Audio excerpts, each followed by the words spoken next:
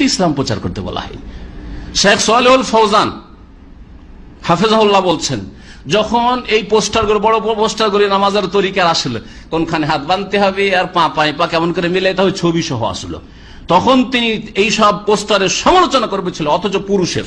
তারপরে মুখ মুখ, মুখটা কি করা আছে, মোছা আছে। চোখ চোখ কিন্তু চেনা যাচ্ছে না। দেখবেন যে ছবিগুলো, ঠিক না? শুধু বডিটা কাঠের মতো দেখা যাচ্ছে, তারপর তার বক্তব্য শুনেন। তিনি বলছেন যে, মুসলিম এত জাহেল মূর্খ আর অধম হয়ে যায়নি যে তাদেরকে ছবি দিয়ে ইসলাম শিখাইতে হবে।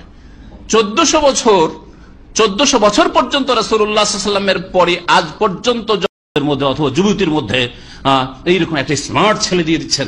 আর কিছু ছেলেরা আরও, যখন এই কথাগুলি আসলে, তখন আরও বলি, কিছু আমাদের যুবক ভাই রয়েছে হ্যাঁ তিনি মন মেজাজ রাখেন, কিন্তু এক একদিন এক এক স্মার্ট হয়ে ছবি দিচ্ছে, একদিন তো ফ্যাশন করে। দিল, একদিন দিল চুলের কাটিংটা এইরকম করে একবারে দিল ছবি।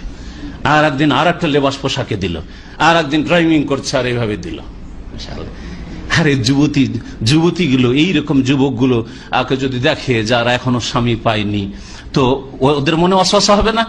আপনার যদি একটা মেয়েকে দেখলে, মহিলাকে দেখলে অশ্বাসা হয়, তো তাদের অশ্বাসা হয় না? ওরা কেউ তো আল্লাহ ওইভাবে পয়দা করেছেন। আল্লাহ পাক এই ফিতরাত, নেচার দিয়ে পয়দা করেছেন যে ছেলেরা, যুবকরা যুবতীর দিকে আকৃষ্ট হবে আর যুবতীরা যুবকের দিকে আকৃষ্ট হবে। বরং একটা বুড়িও যদি থাকে, বুড়া আকৃষ্ট হবে। অলামারা এই মশলাটিকে আলোচনা করতে গিয়ে বলেছেন যে আচ্ছা বুড়ি মানুষ যদি হয় বুড়ি মানুষ যদি একা সফর করে, অথবা বুড়ি মানুষ যদি চেহারা খোলা থাকে তো অসুবিধাটা কি? বুড়ি আসছে, ষাট বছর, সত্তর বছরের বুড়ি, আর হজ করতে আসছে, একা একটা কাফেলাতে চলে আসছে অসুবিধা কি? এর উত্তরে সালাফি ওলামারা বলেছেন, লেকুল্লে সাকে তাতে লাকেতা। শুনে রাখেন। প্রত্যেক পড়ে থাকা বস্তুকে কেউ না কেউ কুড়াবে। কি বুঝলেন? প্রবাদের শুনে, আরবির প্রবাদ শুনে। প্রত্যেকে পড়ে থাকা বস্তু কেউ না কেউ কুড়াবে। একটা টিস্যু পড়ে আছে হয়তো, টিস্যুটা।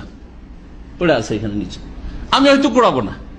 কিন্তু আর একজন দেখল ভাই, আমার খুব ঘাম হয়ে গেছে, টিস্যুটার দরকার, অথবা আমরা হাতটা কোন একটা প্রয়োজন, কুড়াবে না কুড়াবে না? কুড়াবে।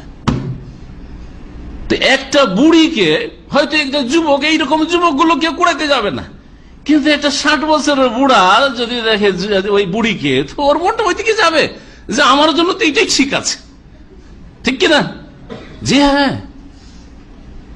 আপনাদের বুঝানোর জন্য বলছি, আল্লাহ যেন বুঝার তৌফিক দান করে সুতরাং সে বুড়ি হোক আর যুবতী হোক, বুড়া হোক আর যুবক হই স্মার্ট করে দেওয়া ছেলেদের অথবা মেয়েদের ছবি দেওয়া, হেজাবের সাথে হোক আর হেজাব বিহীন হোক, এগুলি করবেন না। আর এই রকমই যে কোনো গোনহা বা নেকি, আপনাকে জানতে হবে যেটা নেকির কাজ না গোনহার কাজ। এটা ইসলামের খেদমত করলাম, নাকি আরও ইসলামের ক্ষতি করলাম।